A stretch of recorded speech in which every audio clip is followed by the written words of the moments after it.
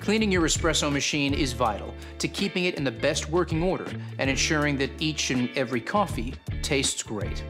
The group head interior and shower screen should be wiped with a damp cloth to remove any ground coffee particles. Periodically, run hot water through the machine with the filter basket and portafilter in place without any ground coffee to rinse out any residual coffee.